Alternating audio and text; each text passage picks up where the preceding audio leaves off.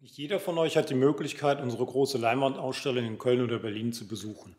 Deshalb wollen wir euch im heutigen Video ein paar Tipps geben, worauf ihr beim Kauf einer manuellen oder elektrischen Rolloleinwand achten solltet. Dafür werde ich im Video einfach mal ein paar Fragen beantworten, die wir hier vor Ort, per Telefon oder auch im Chat immer wieder mal gestellt bekommen. Das Video sollte somit insbesondere für Einsteiger ganz interessant werden. Viel Spaß!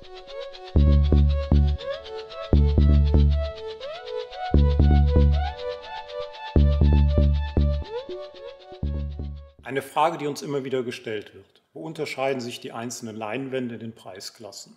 Dann sehen wir den größten Unterschied bei der Verarbeitung, insbesondere bei der Planlage. Hier beim Einstiegsmodell haben wir eine deutliche Eselsohrbildung. Das heißt, der Rand vom Tuch wälzt sich nach innen weg. Und was auch noch auffällt, ist der Mechanismus der Feder. Das heißt, wenn ich hier in der Leinwand ziehe bei dieser Rollo-Variation und lasse einfach los, dann flitscht die Leinwand einfach hoch. Wenn wir uns jetzt hier das etwas hochwertigere Modell anschauen, dann sehen wir sofort, dass diese Eselsohrbildung viel geringer ist. Also wir haben eine wesentlich bessere Planlage. Und auch der Mechanismus zum Einfahren der Rollo-Leinwand ist wesentlich hochwertiger. Also ich denke, die Eigenschaft von so einer Leinwand, die sollte irgendwo immer mit der Qualität des Beamers korrespondieren. Ähm, die Preisunterschiede sind gar nicht immer so groß. Ähm, oft sind da 20, 30 oder 50 Euro, kriegt man schon ein wesentlich hochwertigeres Produkt. Also diesbezüglich einfach mal mit uns sprechen. Wir finden da schon die richtige Leinwand für euch. Einen weiteren Unterschied bei den Leinwänden könnt ihr bei der Montageart feststellen. Bei den einfachen Leinwänden haben wir einen fixen Winkel am Ende von dem Gehäuse. Das heißt, das äh, Gehäuse wird an die Wand oder an die Decke gebracht und dann hier entsprechend fest montiert. Bei den hochwertigeren Leinwänden ist es so, dass ihr hier Winkel habt, die nicht fest mit dem Gehäuse verbunden sind. Das heißt, die zwei Winkel werden zuerst an Wand oder Decke fest montiert und die Leinwand wird dann nachher eingehangen. Ähm, Riesenvorteil, ihr seid also bei der Montage wesentlich flexibler. Das heißt, wenn ihr einen Sturz habt, Beton oder so, wo ihr nicht reinkommt, könnt ihr den Winkel ein bisschen verschieben. Und beim Einhängen der Leinwand, das könnt ihr im Prinzip sogar alleine machen. Es müssen also nicht zwei Leute da sein, die die Leinwand hochhalten, links, rechts bohren, festmachen. Geht also alles viel einfacher von der Hand. Das gilt übrigens für die Rolle und für die elektrischen Leinwände, diese Winkelmontage, dass sie sich da unterscheiden. Nun zu der Frage elektrisch oder Rollo. Das ist natürlich in erster Linie eine Kostenfrage.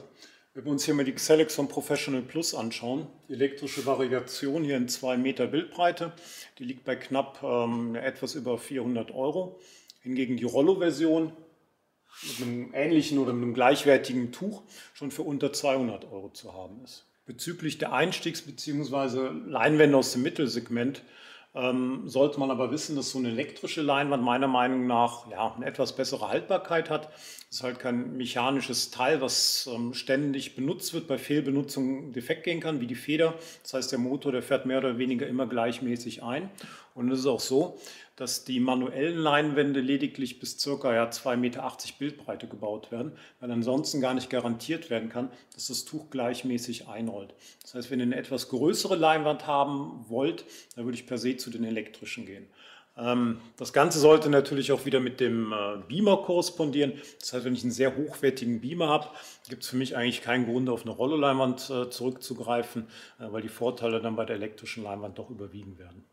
Welches Format sollte jetzt eine Leinwand haben? 16 zu 9, 21 zu 9 oder vielleicht 4 zu 3, 1 zu 1?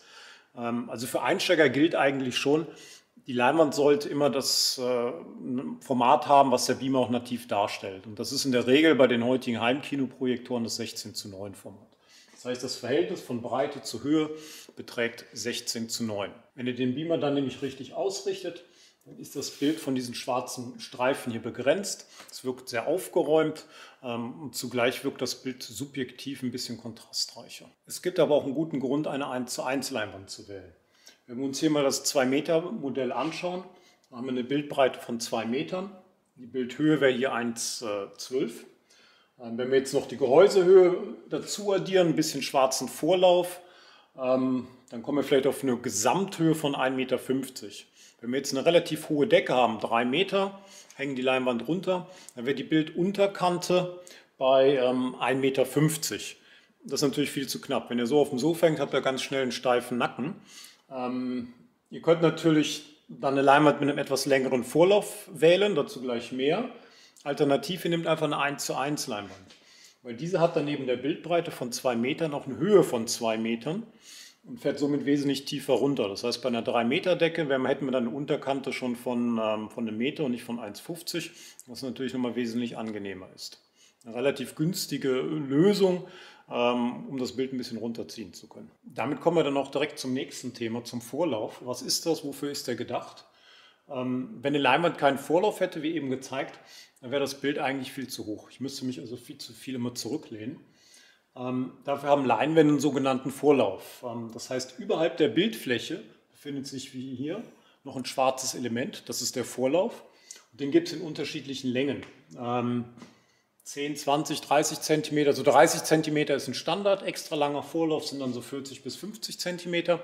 Damit habe ich die Möglichkeit, die Leinwand ein bisschen weiter runterzuziehen, also das gesamte Bild runterzuziehen und habe dann das Bild nicht so an der Decke kleben. Da ist aber ganz wichtig, dass ihr dann beachtet, und da müssten wir euch dann vielleicht auch mal ab und zu helfen ähm, bei der Planung. Ihr könnt den Beamer nicht an der Decke machen und entsprechend neigen, weil dadurch habt ihr dann diese Verzerrung. Das heißt, wenn ihr das Bild oder ihr habt eine sehr hohe Decke und ihr wollt es runterschiften, dann braucht ihr entweder einen Beamer mit einem ordentlichen Lensshift oder aber der Beamer muss entsprechend tiefer montiert werden. Ähm, aber da ist es sicherlich sinnvoller, wenn wir da mal kurz telefonieren. Wenn ihr jetzt eine elektrische Leinwand gekauft habt mit einem Vorlauf von 40 cm, der ist euch aber viel zu lang, was dann? Gut, also ich kann eigentlich bei allen elektrischen Leinwänden den Vorlauf einstellen. Dafür gibt es am Gehäuse ja, so ein paar Möglichkeiten, mit dem Imbus reinzugehen. Das ist eine Schraube, die wird dann äh, fein justiert. Damit kann ich den Start und den Endpunkt ähm, genau justieren und einstellen. Ähm, das ist aber oft so, dass es nur vom Fachpersonal gemacht werden darf, weil ihr sonst Probleme vielleicht mit der Garantie bekommt. Ähm, das heißt, in dem Fall am besten uns mal kontaktieren oder wenn ihr wollt äh, und ihr bestellt eine Leinwand, wir können die euch auch vorher einstellen. Ähm, ist also recht wichtig, dass man da nichts verkehrt macht, weil da könnte eine Leinwand ganz schnell auch mal kaputt machen. Nächster Punkt, der oft gefragt wird, ist das sogenannte Tension-Seilspannsystem. Dafür habe ich mal hier eine Leinwand runterfahren lassen. Wir sind jetzt hier auf der Rückwand, deshalb ist die schwarz. Ähm, das Seilspannsystem soll, dient dafür, dass die Randbereiche möglichst plan sind. Also was ich euch eben am Video am Anfang gezeigt habe, diese sogenannten Eselsohren, die werden damit unterbunden. Ähm, vorweg, ähm, wofür das Tension-System nicht ausgelegt ist, Wellen, die sich in der Mitte des Bildes befinden, zu reduzieren, weil das hat überhaupt nichts mit dem Tension-System zu tun. Das Tension-System ist dafür viel zu schwach. Das Tension-System hat lediglich einen Einfluss auf die ersten ja, 10, 15, 20 Zentimeter je nach Stärke. Das heißt wirklich nur für diese Eselsohren. Wenn ich in der Mitte eine Welle habe, dann hat das einzig und allein damit zu tun, dass ich entweder ein schlechtes Tuch habe oder dass dieses im Tubus ähm, schlecht eingehangen wurde oder dass dieser sogenannte Fallstab nicht sauber aufgezogen wurde. Also das Tension-System dient dafür, die Eselsöhrchen zu reduzieren. Und in der Regel ist es so, dass dieses Tension-System auch nur bei diesen äh, folienbasierten Tüchern eingesetzt wird. Ähm, das heißt, wenn ich hier so drücke, dann sieht man, das ist relativ empfindlich, weil bei diesen schweren Tüchern aus gewebtem Tuch ist der Einfluss ähm, ja einfach etwas geringer. Für die meisten Tension-Systeme gilt übrigens, dass die Leinwände komplett ausgefahren sein müssen. Ähm, wir haben so eine gewisse Biegung hier bei diesem Spannsystem und wenn die Leinwand nicht komplett runterfährt, geht jetzt nicht um 10 cm, das kann ich natürlich immer fein justieren, dann habe ich eine deutliche Faltenbildung. Ähm, Deshalb, wenn ihr euch schon eine Tension-Leinwand zulegt, dann schaut, dass diese auch wirklich customized ist, dass also der Vorlauf äh, für eure Bedürfnisse angepasst wird. Bei Tension-Systemen wird also primär auf ein folienbasiertes Tuch gesetzt. Es gibt aber alternativ auch noch die ähm, gewebten Tücher. Die sind also ein bisschen fester. Ähm, da ist aber nicht so ganz einfach, diese schöne Planlage hinzubekommen. Wenn, dann müssen diese Tücher relativ hochwertig verarbeitet werden. Das heißt, es wird ähm, ja, gegeneinander gewebt, äh, horizontal und ähm, vielleicht sogar ein bisschen diagonal und vertikal. Dadurch kriege ich dann eine ganz gute Planlage hin. Ähm, warum aber dann nicht immer ein Tension-System nutzen? Also zum einen sind die Tension-Systeme meistens natürlich ein bisschen teurer. Zum anderen haben die gewebten Tücher aber noch einen anderen weiteren Vorteil. Und zwar sind diese natürlich wesentlich unempfindlicher. Zum einen gegen mechanische Auswirkungen. Das heißt, äh, wenn ich mal dagegen komme, ähm, passiert nicht so schnell was. Ähm, sind gegen Kratzer und so weiter ein bisschen unempfindlicher. Und ähm, der gravierendste Punkt ist aber eigentlich, dass diese gewebten Tücher gegenüber klimatischen Bedingungen wesentlich unempfindlicher sind. Das heißt, sie kann ich ohne Probleme eine Hitzequelle aussenden. Wenn ich einen Tuch, was auf PVC-Basis, also sehr dünnes, ähm, an der Heizung hänge oder auch sogar an eine Fensterfront, wo die Sonne gegen knallt oder reinscheint, da kommt es zu ähm, starken ähm, Verzerrungen. Das heißt, das Tuch dehnt sich aus und ich habe extreme Falten im Tuch. Das ist dann auch kein Garantieanspruch mehr. Das heißt, ihr müsst bei der Wahl des Tuches definitiv ja, den Standort auch berücksichtigen. Also nicht blind ähm, irgendwie ein Tension-Tuch kaufen, wenn jetzt eine bessere Planlage habt und dann setzt ihr das vor irgendein Fenster und äh, nach zwei Monaten habt ihr die Wellen drin. Ähm, da solltet ihr also auf jeden Fall darauf achten. So, nun zu der Frage, die eigentlich immer wieder kommt. Ähm, man liest das ja immer wieder in den Datenblättern, der Gainwert. Was ist der Gainwert? Also ein Gainwert von 1 bedeutet eigentlich nicht mehr, als dass die Leinwand in dem Moment genauso viel Licht reflektiert, wie eine normweiße Wand das tun würde. Bei einem Gainwert von 1,2 erhalte ich also 20% mehr Licht wie meiner Leinwand mit einem Gainwert von 1. Ähm, dieser Gainwert, der ist aber winkelabhängig. Das heißt, diese 20% Lichtsteigerung, die habe ich nicht, wenn ich mich seitlich zur Leinwand drehe. Da reduziert sich das. Weil irgendwo muss das Licht ja auch wieder herkommen. Das heißt, ein höherer Gainwert bedeutet in der Regel, dass ich, wenn ich von vorne auf die Leinwand schaue, ein etwas helleres Bild habe. Das ist ein recht komplexes Thema, das kriegen wir in dem Video, denke ich, nicht abgearbeitet. Wenn ihr also schwierige Verhältnisse habt oder ihr wollt einfach nur das optimale ähm, Bildergebnis, Lichtergebnis äh, für eure Projektion erreichen, auf jeden Fall mal anrufen. Ähm, wir kennen uns ganz gut damit den äh, Herstellerdaten aus. Da finden wir sicherlich die richtige Leinwand für euch. Direkt verknüpft mit dem Gainwert ähm, sind die sogenannten Tageslicht-Kontrastleinwände. Da lest ihr im Moment ja relativ viel im Internet drüber. Ähm, für mich persönlich die Entwicklung in den letzten Jahren im Bereich Heimkino, ähm, weil dadurch hat also Heimkino Beamer, das hat jetzt nochmal so einen richtigen Schub im Wohnzimmerbereich bekommen. Dafür haben wir hier in Köln also auch eine große Ausstellung. Wir haben ja so einige Tageslichtleinwände im Vergleich hängen, die ihr euch alle mal anschauen könnt. Über das Thema haben wir also auch schon ein paar Videos gedreht. Ähm, da setze ich euch mal einen Link unten in die Box und nach oben haben wir auch nochmal einen Link im Video. Schaut euch das nochmal an. Ist also auch wahnsinnig interessant, ähm, was man da alles so rausholen kann mit diesen sogenannten Tageslicht-Kontrastleinwänden. Welche Leinwand ist aber jetzt für euch die richtige?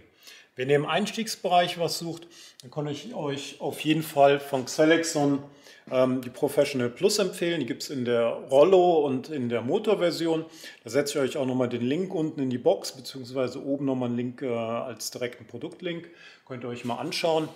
Ähm, wenn ihr eine etwas professionellere Leinwand sucht, dann empfehle ich euch doch mal kurz anzurufen, weil da gibt es dann doch so viele Unterschiede, die man aufeinander abstimmen sollte. Wenn ihr da schon so viel Geld investiert, ähm, ja, dann ruft einfach mal an und ähm, dann finden wir also auch das passende Produkt für euch, was wir mit dem Beamer perfekt kombinieren, was äh, für eure Raumbedürfnisse gut geeignet ist, weil damit habt ihr dann ein bisschen länger auch Freude. Ich hoffe, das Video hat euch einen kleinen Überblick verschafft. Bleibt unserem Kanal treu. Wir freuen uns über jeden Like, jedes Kommentar. Bis zum nächsten Mal. Euer Gunnar.